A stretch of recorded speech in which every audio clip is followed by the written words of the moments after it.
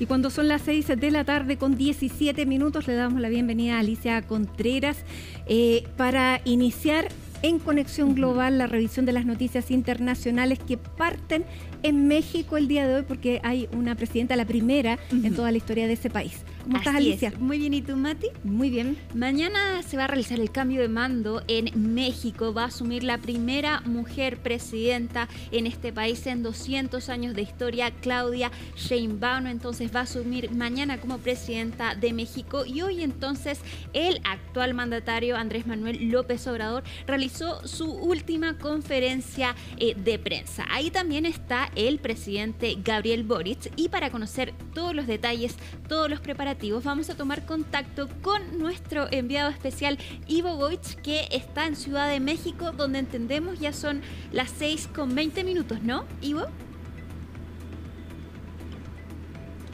¿Cómo están, Matilde, Alicia? Muy buenas tardes. 3 de la tarde con, 20, con 18 minutos específicamente. Tenemos 3 horas menos acá en Ciudad de México. Los saludos desde el frontis, desde el Parque Chapultepec, en la zona de Polanco, acá en Ciudad de México, una ciudad que está mm, en plena, pleno lunes eh, laboral, efectivamente, el día de mañana es feriado, tú lo decías bien Alicia, se producirá la toma de protesta, como se conoce acá, más tradicionalmente para nosotros como cambio de mando presidencial, donde Claudia Sheinbaum va a asumir como la primera mujer presidenta de los Estados Unidos eh, mexicanos.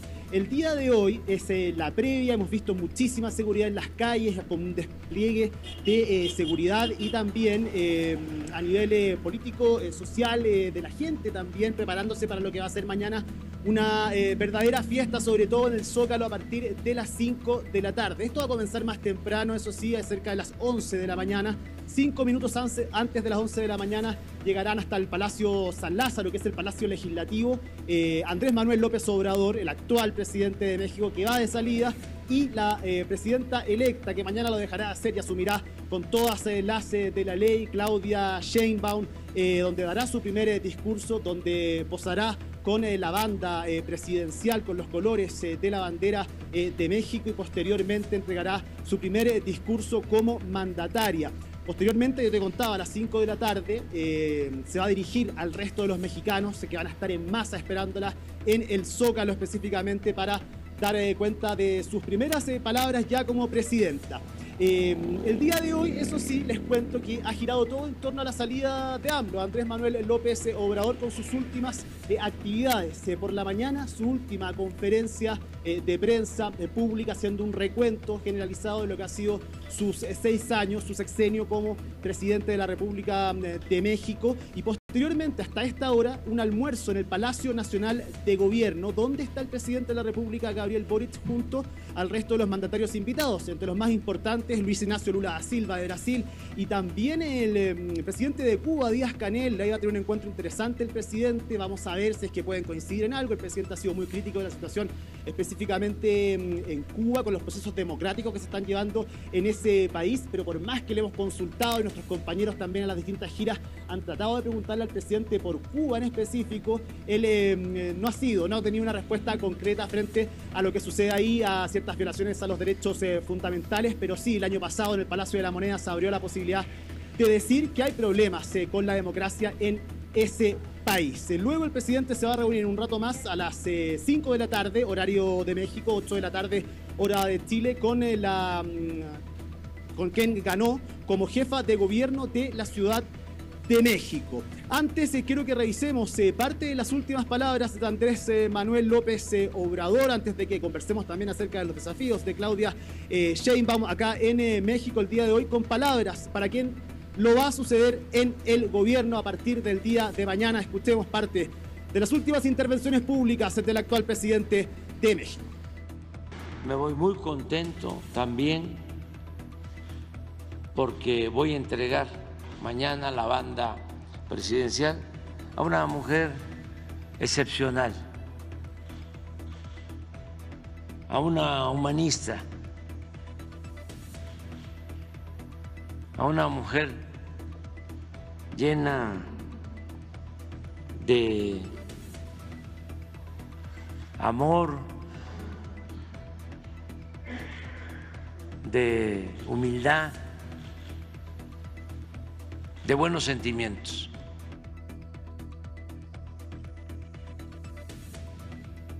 Alicia Matilde, ahí están eh, parte de las últimas palabras en eh, sus actividades públicas por parte de Andrés Manuel López Obrador. El desafío de Claudia Sheinbaum acá es de continuidad, pero con una sombra grande detrás, porque con un cerca de un 80% de aprobación ciudadana deja su cargo AMLO el día eh, de mañana. Ella, eso sí, llega a ser presidenta con un apoyo popular también por sobre el 70%. Recordemos que es la presidenta con mayor cantidad de votos en la historia política de México. Más de 35 millones de votos, cerca del 60% del electorado votó por ella en el mes eh, de junio, así que sabe que el desafío es grande de poder continuar con la senda de Andrés Manuel López eh, Obrador con eh, reformas específicas concretas. Su primer gran desafío va a ser el, a mediados del año 2025 con una reforma al, bueno, Poder Judicial que dejó amarrada días antes de su salida AMLO que es que sean los ciudadanos quienes elijan a 1.600 cargos del Poder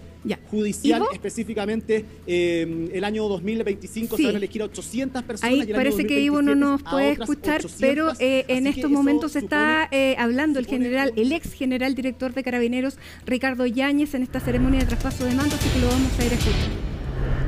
Pues sentí que los intereses superiores de mi querida institución así lo requerían. Hoy Mirando en retrospectiva, es válido preguntarse, ¿fue acertada la decisión de aceptar el cargo en aquel momento? ¿Tenía claridad de los costos que ello implicaría? En mi desempeño puse siempre lo mejor de mis capacidades y el balance de los resultados será materia que deberán juzgar quienes me sucedan y la historia. El cargo de general director es una designación del presidente de la República. No es un ascenso ni tampoco se postula a ello. La autoridad de gobierno, en uso de sus facultades constitucionales, designa a quien estima que debe acceder a cumplir con esta función, por cierto, compleja, pues se trata de estar a cargo de más de 57 mil personas, cuya misión es garantizar el orden y la seguridad de todos los habitantes de esta larga y angosta faja de tierra. Esa fue la tarea asignada y en ello he trabajado con esmero y ahínco durante los últimos cuatro años de mi vida. Fui nominado para ejercer este cargo por el tiempo establecido en la Constitución Política de la República, por el entonces presidente Sebastián Piñera Cheñique, que en paz descanse, y ratificado meses más tarde porque él le sucedió como primer mandatario el actual presidente, don Gabriel Borin Font. Por esta distinción solo tengo palabras de gratitud. Se me entregó esa enorme responsabilidad en tiempos convulsos, cuando el país y Carabinero de Chile, en particular, enfrentaban momentos de alta complejidad en materia de orden público y en medio de la peor pandemia de las últimas décadas.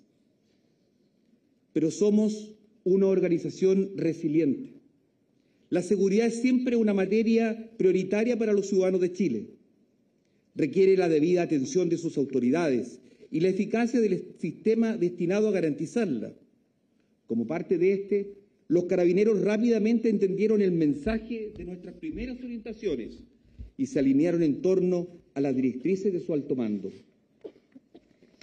Era indispensable estar al servicio de todos, sin discriminación y sin excusas aprovechar la oportunidad de modernizar y generar los cambios que la institución requería, recuperar nuestra legitimidad frente al cuerpo social. Era prioritario mantener una alta efectividad en la acción policial, respetando siempre los derechos y la dignidad de las personas y mejorar nuestra cohesión interna.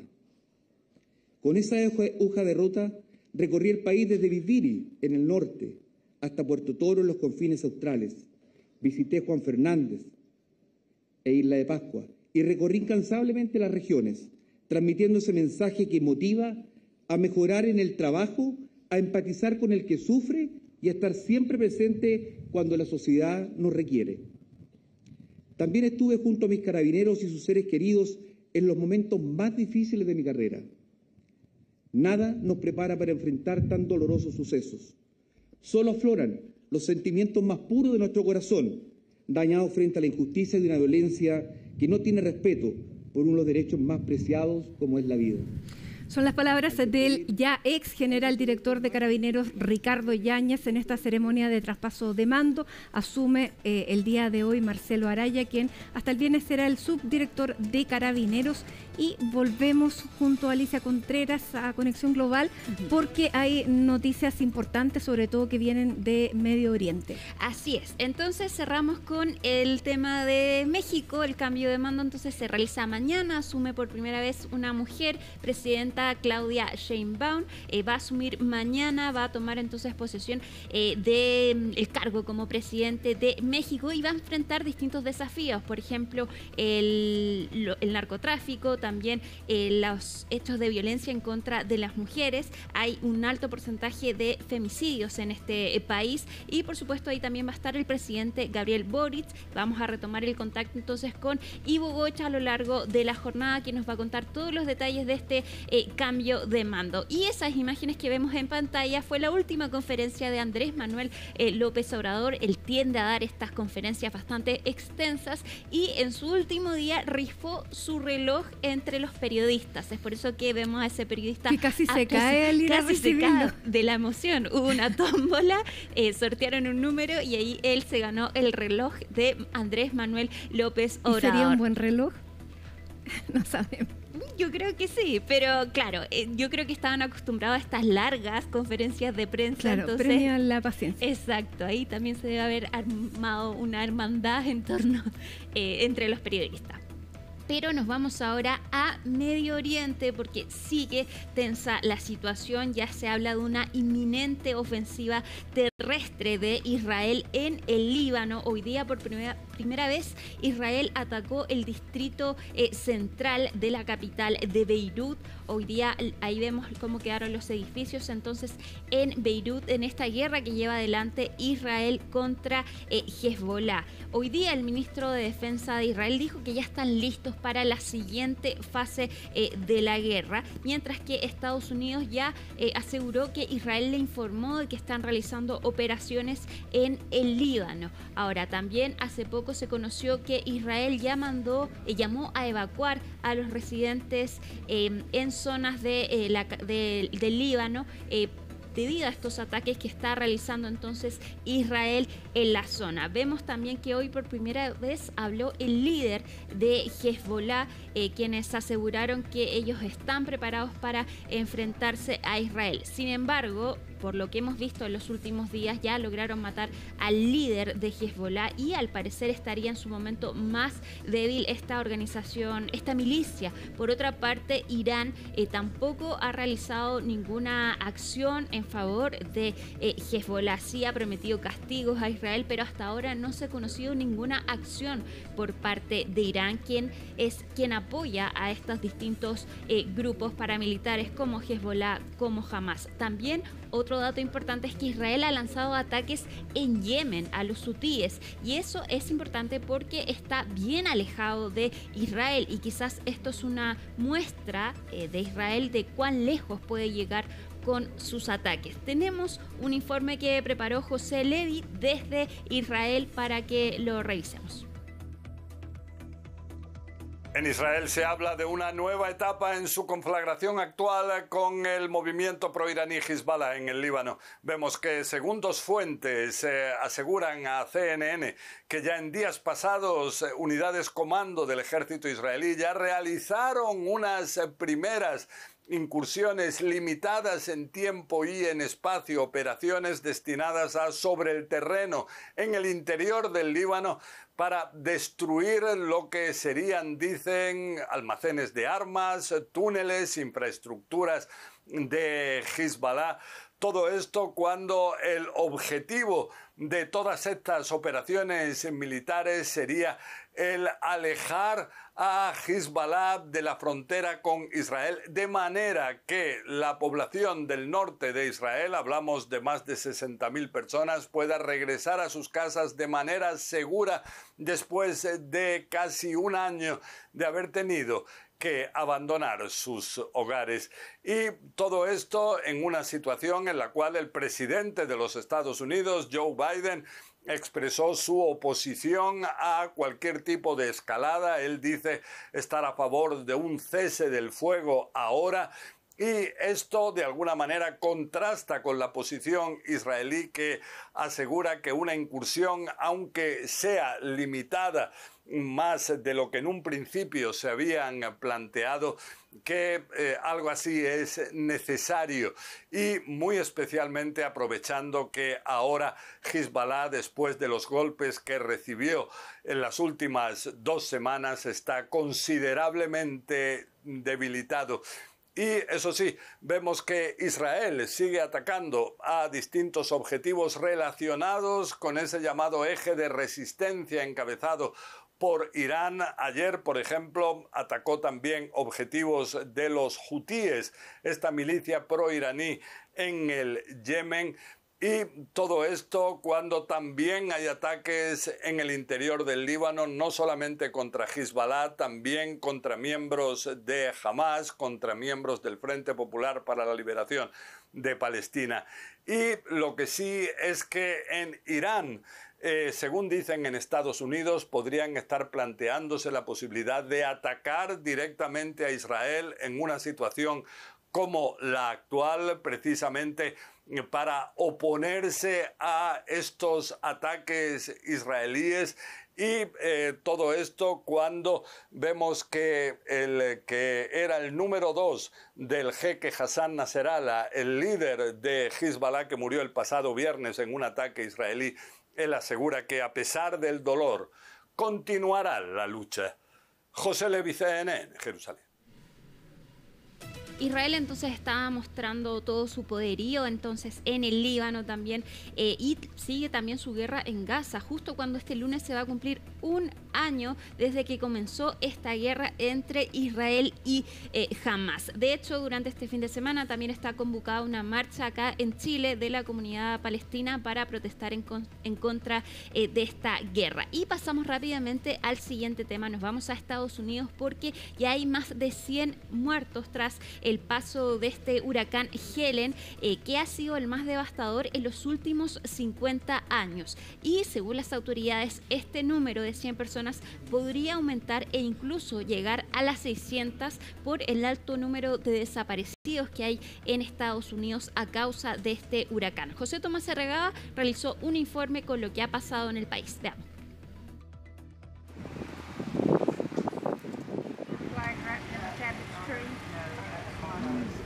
This is to my whole life.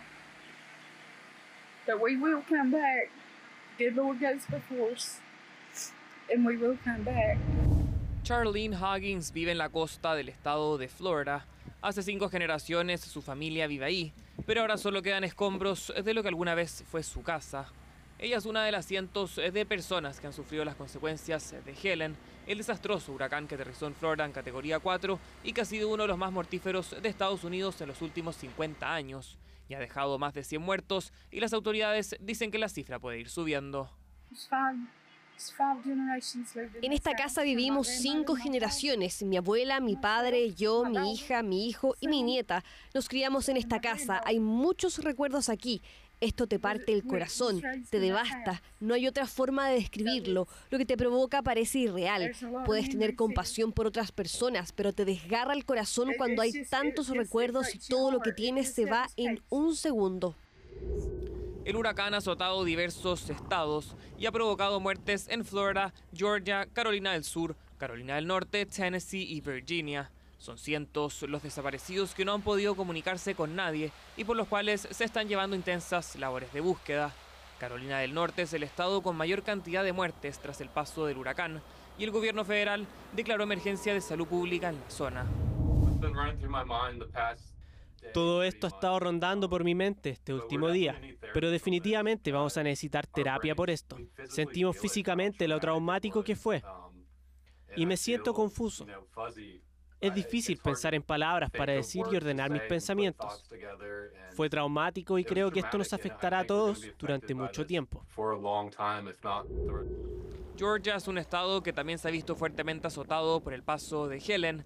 Este lunes, sus autoridades informaron al menos 25 muertes y el alcance que tuvo el huracán fue catalogado como sin precedentes. Hasta el momento hemos tenido 25 muertes en el estado de Georgia. Los medios de comunicación informan de un total de 90 a 100 personas a causa de esta tormenta, en todos los estados donde fue tan duramente golpeada. Lo inusual de esta tormenta es que no hay precedentes de que un huracán de categoría 2 haya tocado tierra en Georgia, y ver el nivel de destrucción que un huracán podría causar en esta comunidad, estando tan lejos de la frontera con Florida, no tiene precedentes. El presidente de Estados Unidos, Joe Biden, prometió que el gobierno federal ayudará a los sobrevivientes a reconstruir todo lo que perdieron, algo en lo que podría necesitar ayuda del Congreso, pero las muertes y desapariciones preocupan de sobremanera a las autoridades estadounidenses. Se ha informado de más de 100 muertos como consecuencia de la tormenta y hay informes de que hay alrededor de 600 personas desaparecidas porque no se puede contactar con ellas. Si Dios quiere, están vivas, pero no hay forma de volver a contactarlas debido a la falta de cobertura de telefonía móvil. He ordenado a mi equipo que proporcione todos los recursos disponibles lo más rápido posible a sus comunidades. El mandatario estadounidense visitará algunas de las comunidades afectadas a finales de esta semana. Se vienen días duros de trabajo de reconstrucción para las comunidades afectadas. Todo esto mientras se espera más lluvias en algunos estados, lo cual sigue preocupando a los miles de damnificados que recién están tratando de levantarse tras este desastre. Y vamos a terminar con un tema eh, más eh, ameno, vamos a terminar con música, porque la banda Oasis, después de eh, desatar una locura con el anuncio de su regreso a los escenarios, hoy confirmó nuevos conciertos en Estados Unidos, Canadá y México para los próximos meses de agosto y septiembre de 2025. Y no solo eso, porque ya se está alimentando las posibles sospechas, rumores, rumores que podrían llegar a Latinoamérica. Y hace poco se filtró una posible fecha. Se dice que quizás la banda de los hermanos Gallagher podría llegar a Chile en octubre de 2025 y tocarían en el Estadio Nacional. Esta información que no está confirmada, pero que ya cada día los rumores se hacen más eh, grandes y que se fueron, fueron alimentados también por este último anuncio que hoy día en la mañana confirman en entonces que se van a presentar en Estados Unidos, Canadá y México. También hay otra noticia respecto de las entradas, porque cuando eh, pusieron en venta sus entradas en Europa hubo una un mecanismo de precios dinámicos que mientras más aumentaba la demanda eh, de los compradores, más aumentaba el precio de las entradas. Ya confirmaron que no van a realizar este mecanismo en la venta de estas entradas para entonces asegurar una mejor experiencia para los fanáticos. Hay que ver entonces si es que llegan a Chile. Acá hay varios que irían. Eh, Sí. Por ejemplo. Por ejemplo. Bien, Alicia, muchísimas gracias por eh, esta entrega informativa de Conexión Global. Luego, después de las 7, volvemos juntas en CNN Chile Radio. Super, ahí nos escuchamos. Muy bien. Y hasta ahora hacemos un alto en Hoy es Noticia. Hay 17 grados en la capital y con esta imagen nos vamos a un alto. Ya estamos de regreso. No se